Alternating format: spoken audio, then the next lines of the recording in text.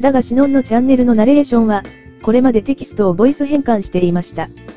アプリはフリーのバラボル化を使い、場合によってはパワーポイントやエッジを使っていたのです。このナレーションはバラボル化で作成したものです。あえて編集を加えていませんので、抑揚が人間的でないところがあります。次に今回購入した、iTalk3 のぞみさんで変換してみます。駄菓子のんのチャンネルのナレーションは、これまでテキストをボイス変換していました。アプリは、フリーのバラボル化を使い、場合によっては、パワーポイントやエッジを使っていたのです。このナレーションは、iTalk3 ののぞみさん、デフォルトで作成したものです。編集は加えていません。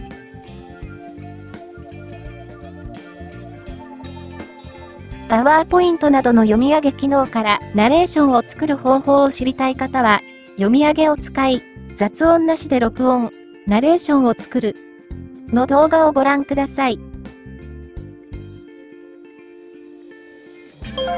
フリーのソフトを使うと、不自然なボイスになることが多くあります。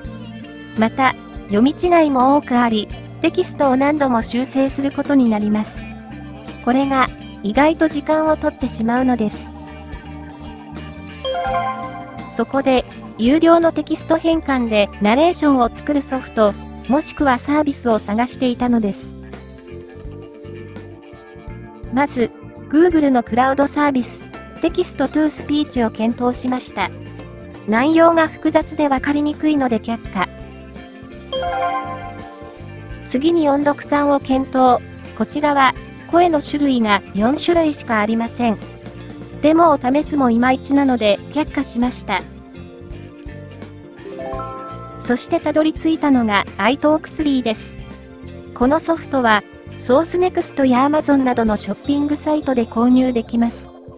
5社パックで1万5000円ほど、7社パックで2万円ほどになります。ソースネクストのホームページで話者のデモを試すことができます。どんな感じか知りたい人は、アクセスしてください。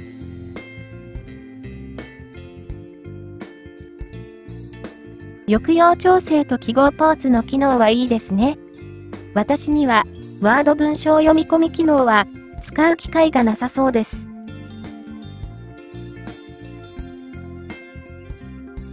安く購入したければヤフオクがおすすめですが、価格は常に変動します。ちなみに、駄菓子のんは、7社パック3550円、クーポン200円引き含むで購入できました。お得な買い物でしたね。この iTalk3 の使用について、紹介と評価をしていきます。最後までご視聴いただけると嬉しいです。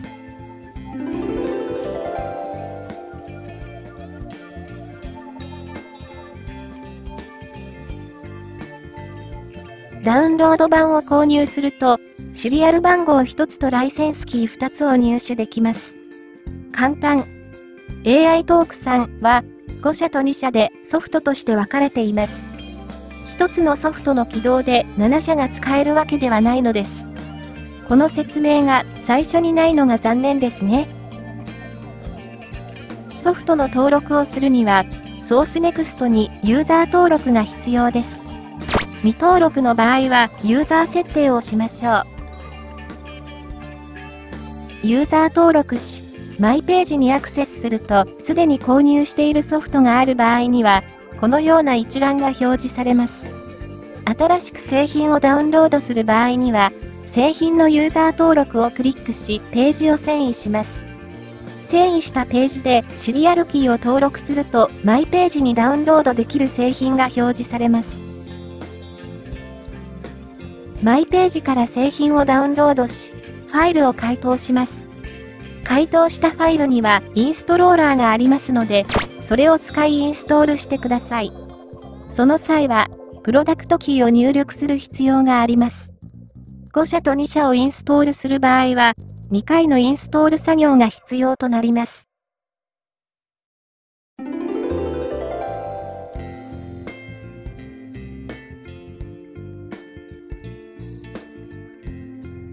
iTalk3 を起動すると、このような画面が現れます。操作は、難しくなく直感的に使える仕様となっています。話者は、アンズ、カホ、ナナコ、のぞみ、セイジの5人から選択することができます。メニューから複雑な設定をする項目はありません。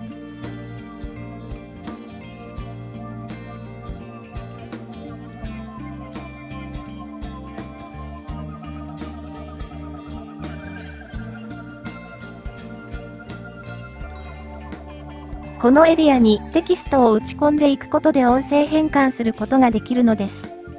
試しに文字を入れてみましょう。駄菓子のんチャンネルをよろしくね。駄菓子のんチャンネルの発音を調整してみます。文字を選択し右クリックします。すると、単語編集の見出し欄に文字が入るので読みを入力してください。調整する文字が左に表示されたら、それぞれの文字の抑揚の調整が可能となります。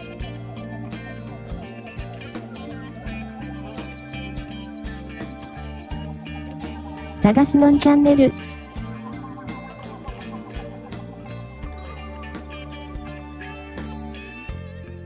駄菓子のんチャンネル。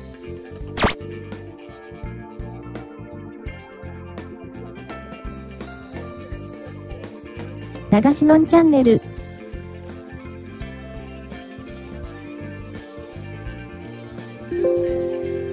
調整したものは、登録することでテキスト変換で反映されるようになります。駄菓子のんチャンネル駄菓子のんチャンネルをよろしくね。音声効果のパラメーターを変更し、どのようにナレーションが変化するかを見てみましょう。駄菓子のんチャンネルをよろしくね。それぞれのパラメーターの変更で、別の声のように変更できますね。駄菓子のんチャンネルをよろしくね。フリーのアプリよりは演出幅が広いように思えます。駄菓子のんチャンネルをよろしくね。駄菓子のんチャンネルをよろしくね。駄菓子のんチャンネルをよろしくね。駄菓子のんチャンネルをよろしくね。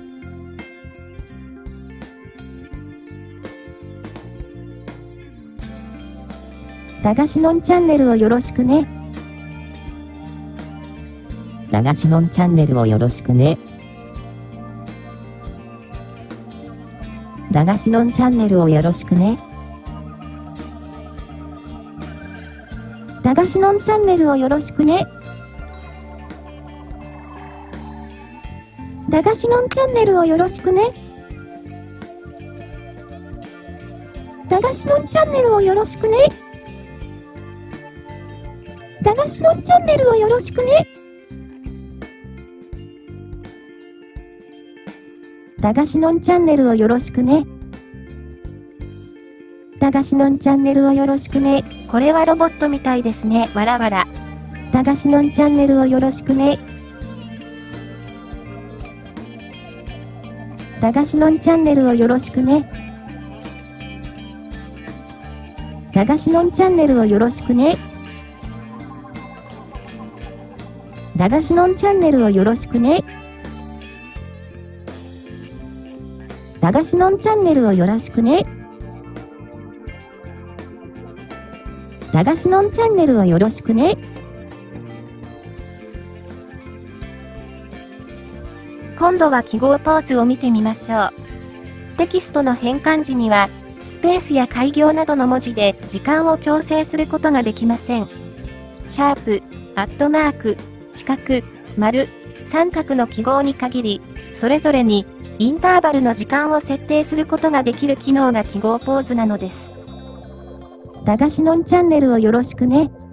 駄菓子のんチャンネルをよろしくね。この機能は、行間や文字間で時間調整ができるので、後でファイルを分割したい場合にも便利に使えます。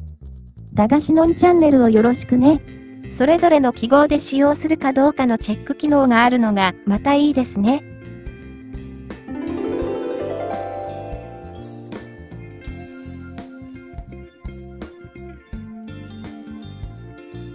最後に同じフレーズをそれぞれのキャラクターで音声化してみます。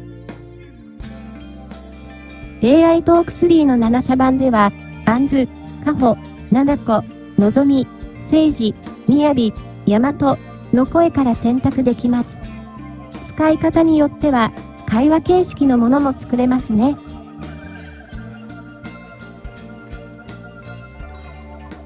AI トーク3の7社版では、アンズ、カホ、ナナコ、のぞみ、セイジ、みやび、ヤマトの声から選択できます。使い方によっては、会話形式のものも作れますね。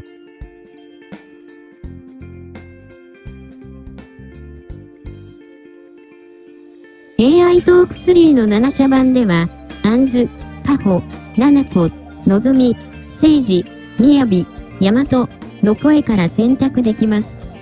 使い方によっては、会話形式のものも作れますね。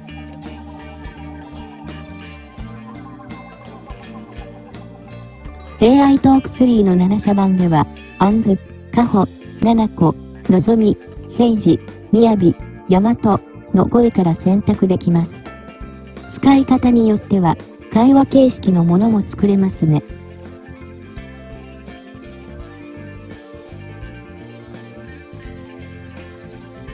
AI トーク3の7社団では、アンズ、カホ、ナナコ、のぞみ、セイジ、みやび、ヤマトの声から選択できます。使い方によっては、会話形式のものも作れますね。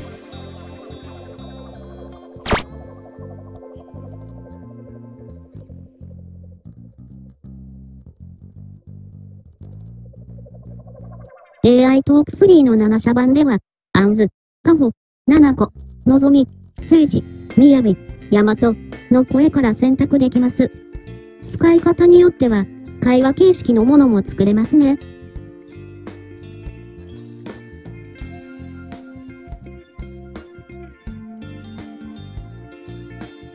AI トーク3の7社版では、アンズ、カホ、ナナコ、のぞみ、セイジ、みやび、ヤマトの声から選択できます。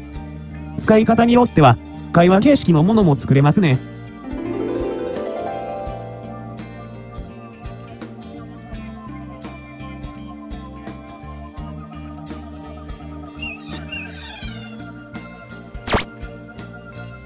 駄菓子のんチャンネルも動画総数の300本の絵が見えてきましたね。